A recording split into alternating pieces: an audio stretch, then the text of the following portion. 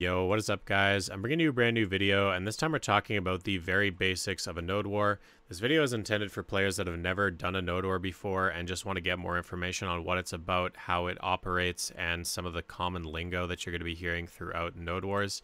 And it's pretty much a very basic beginner's guide. If you've already participated in a node war before, you're probably not going to get too much use out of this video. Um, but yeah, we're going to dive right into it here. So the very first thing you need to know about participating in a node war is first of all, you need to be in a guild that is doing a node war. And once you're in that guild, they are going to tell you the particular days that node wars happen, and they're also going to give you the channel that they happen on. If you're unfamiliar with what channel your node war is happening on, just ask an officer or ask a GM that's informed about it, and you'll have to hop to the correct channel. Once you're on the correct channel, Node Wars starts at 9 p.m. Eastern Time every single day except for Saturdays, and Saturdays are Siege. So once you're on the correct channel, you need to make sure that you yes up for that war, and that basically says that you're ready to Node War and you're active today, you're going to be there. So what you do is you go into your guild member status tab, so you hit G, go to guild member status, find your name, and you hit the yes button. So you hit no, it turns to yes, and then you know that you're on the right channel and that you actually have a node war today, so you're ready to participate. Once you're done with that, you're now officially signed up. As soon as it hits 9 p.m. Eastern, you're going to have a teleport icon that you're going to be able to take, and it's going to teleport you directly to your base. Now, usually you're going to be in a Discord call with a bunch of other people, and there's going to be one person that kind of calls the shots. He's the shot caller, and he's going to say what you should be doing and some of the you know common lingo that he's going to be talking about, and I'll take take you through everything and make sure that you're uh, totally prepared. So, the first thing you need to make sure is you have some stun traps. So once you're signed up and everything, and you're almost ready to go, you need to make sure that you have in your inventory some of these stun traps. You're going to have an allowance. If you don't have an allowance, your GM will have to assign it to you.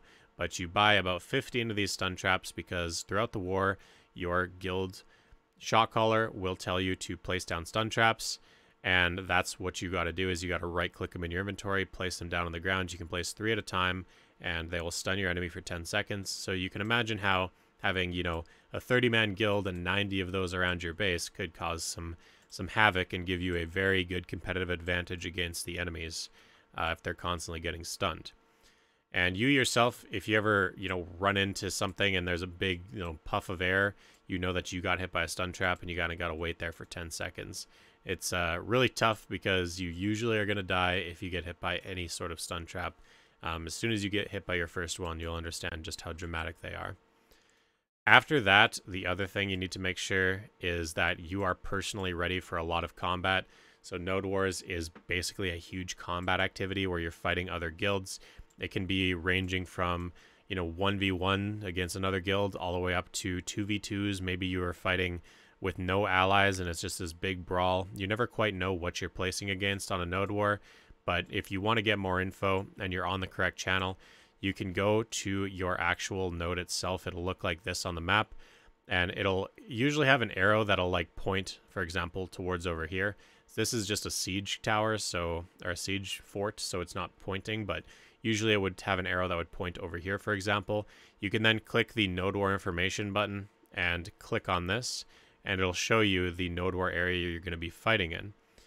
And so you can also tell by hovering over this how many forts are placed. So for this one, there's node forts built 1. So in this case, only your guild is built if it says 1. If it says 2, that means it's you and another person. And this particular node is a tier 4 with 75 participants. So the reason that you yesed up at the start is because let's say that your guild has 100 members.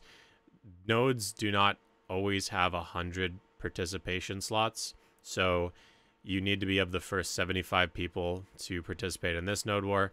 Um, but some nodes can be as low as like 30 people. So Barhan Gateway, max participants 30. So you need to make sure that you're yesing up rather early if you've got a particularly active guild that really wants to participate in nodes because if you don't then you're not going to be able to participate now once you're done with that um, in order to get fully buffed up I do have a video guide of that that I'm going to link in the description of the video to get all the different combat buffs that you're going to need.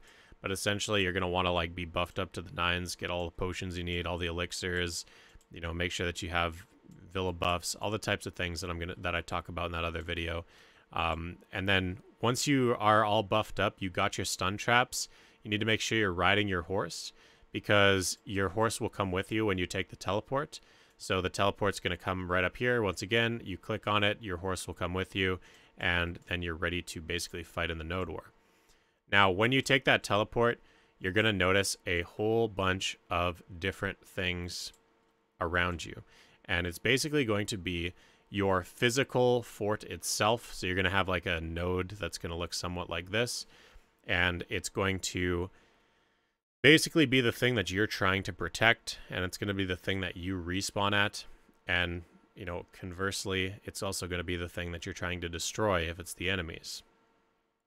So when you spawn at your base, your officer and your GM will have placed a whole bunch of barricades around the base, as well as a whole bunch of things like recovery centers, cannon obs, elephant nurseries, flame towers, Hwachas. There's a whole bunch of different structures and a limited amount that are able to be placed by your officer or GM before the war starts.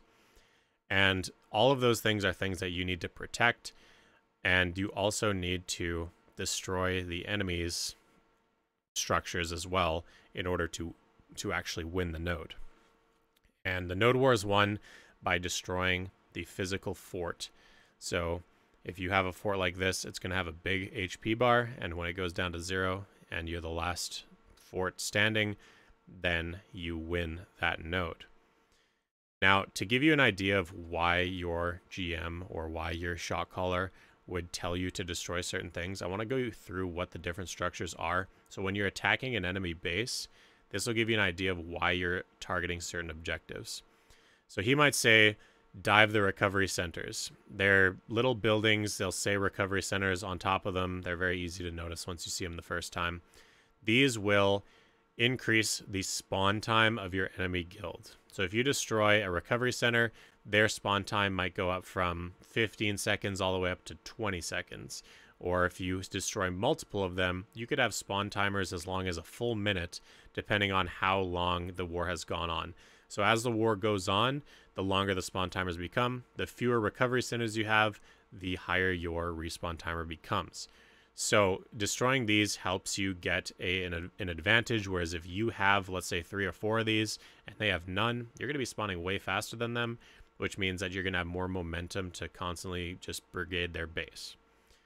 Now, the other thing is the Cannon Observatory. Cannon Observatory is it's a very specific role that somebody in your guild will be doing. It's unlikely to be you unless you specifically were talked about it, uh, talked to about it.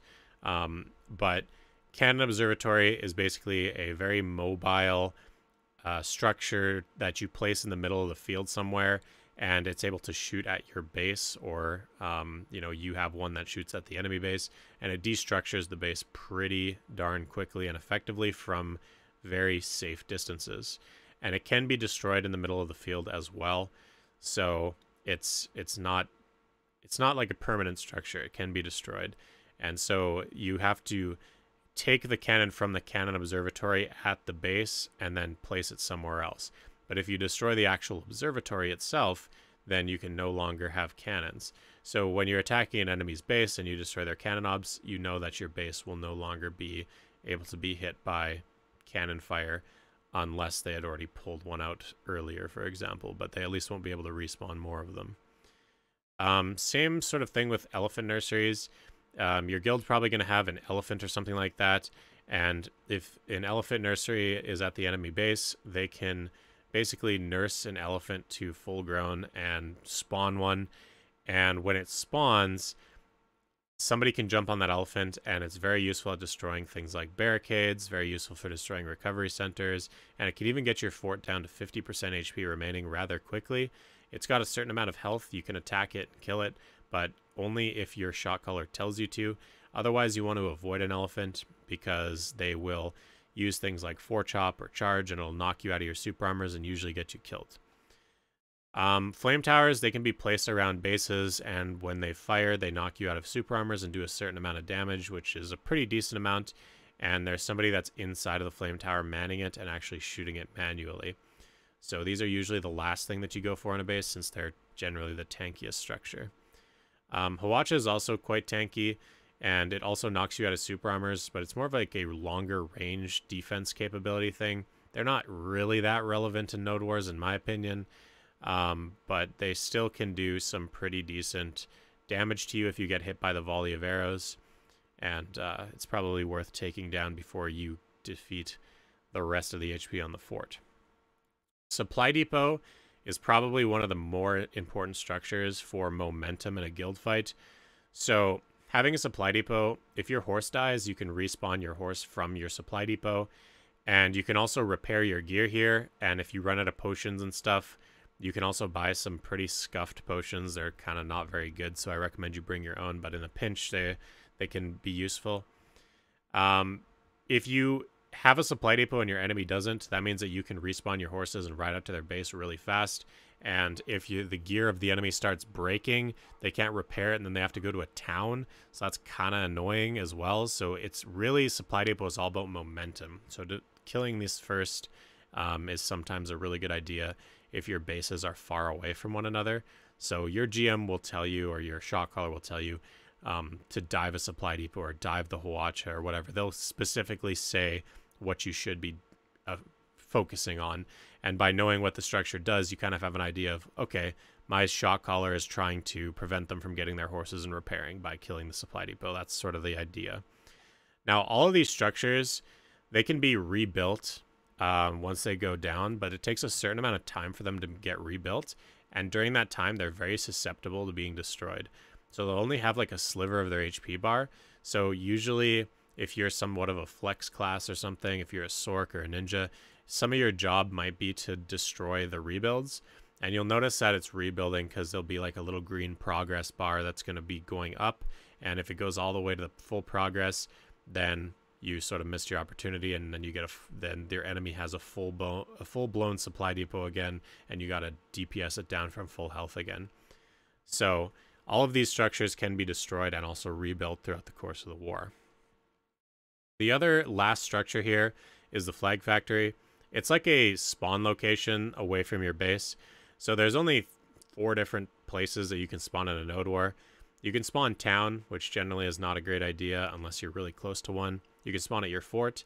You can spawn safe zone if you die outside of the node war area. And you can also spawn at your flag factory. Um, it's gonna have it's gonna have basically a blue button at the bottom of your screen and it'll say guild resurrection i believe. And you spawn at the flag and it's sort of it's it's a momentum based thing where you can spawn closer to the enemy base but this can also be destroyed. So you can lose that respawn and then you're gonna have to place another one down somewhere else. Maybe not you specifically will have to place one down, but usually an officer or something will place one down um, somewhere so that you can spawn at it. That's pretty much all of the structures. Um, and yeah, that's pretty much it. So now you know that if your GM says dive the cannon obs, you know that you're diving the cannon observatory and you're trying to prevent cannon fire on your base. The other common lingo that you kind of need to know is what PA is. Now, PA is called is, is basically just an acronym for protected area. So wizards, witches, and Valkyries have protected area. Valkyries, it's called something else. I don't even know, but basically, if you're a Valk, you probably know. But protected area is an ability that is really, really useful for group fighting because it gives you for 8 seconds 999 DP, and the effect is for 10 allies. So let's say that you have a group of 30 people and you've got, you know, four or five witches. If you cast all protected area simultaneously, they will, you're basically having an invulnerable group of people for eight seconds. So pretty darn useful. Usually they're split up into PA groups. So you hear things like PA1, PA2, PA3, things like that. Um, it depends on how many wizards, witches you have, but if you are a witch or a wizard yourself, you're going to need to know what protected area group that you're in. So that way, there, if PA1 is called and you're in PA1, you know to hit Shift Q and, you know, protect your allies. Additionally, you're going to hear things like heals, and, you know, that's just your normal healing lighthouse ability or the Rabam heal, or you can even pop a, you know, healing aura or whatever. Um, that's going to be your job as like a wizard or a witch. And so you kind of know what to expect if um, if you're an ally and you're not a wizard or witch and PA1 is called, you know that you're about to dive into the enemy ball because you only have eight seconds of pseudo invulnerability in order to, you know, get your damage out. So that's pretty much all the lingo. Um, that's all the structures. That's all you really need to know. Now you know how to start a war, join the war, what to expect in the war. Um, the first, the last fort standing is the victor. Usually there's some diplomacy involved. If there's like a 2v2, you're going to be maybe allied up uh, with some other guild. So you just kind of have a, you can still hit the other guild, but you sort of have this ceasefire where you intentionally don't try to kill whoever you're allied with. But all of these things will be made much more clear when you join communications with York Shotcaller, and they'll tell you things like that, tell you who you're allied with, tell you what to focus on killing, and you'll know exactly what to do. They'll tell you when to respawn at the flag. They'll they'll basically micromanage everything that needs to happen in a war, and you really just need to follow that shot call. But that's pretty much it, guys. I don't believe I'm leaving anything out other than the rewards for Node War. I mean, the rewards for Node War are pretty kind of pointless in a sense. Like you you get a little bit of money from payouts, and you also get these shining medals of honor. If you go to your guild member status and click rewards, you get these medals which you can then exchange for things like, you know, you can get a loot scroll if you get 20 of them. Um, a loot scroll is okay, but you have to participate in two node wars um, of pretty decent tier and win them in order to buy one loot scroll, usually. So it's not insane um, in terms of the the benefits you get. In fact, I kind of feel the benefits need to be quite significantly buffed, but I personally find Node Wars a lot of fun. It's objective-based PvP. It's generally a good time. So that's about it, guys. Thank you all very, very much for watching. Um, if you have any more individual specific questions about Node Wars, make sure to leave them in the comments. If you enjoyed the video, find it useful, make sure to subscribe. I post videos every week. And uh, yeah, guys, we'll see you all in the next one. Peace.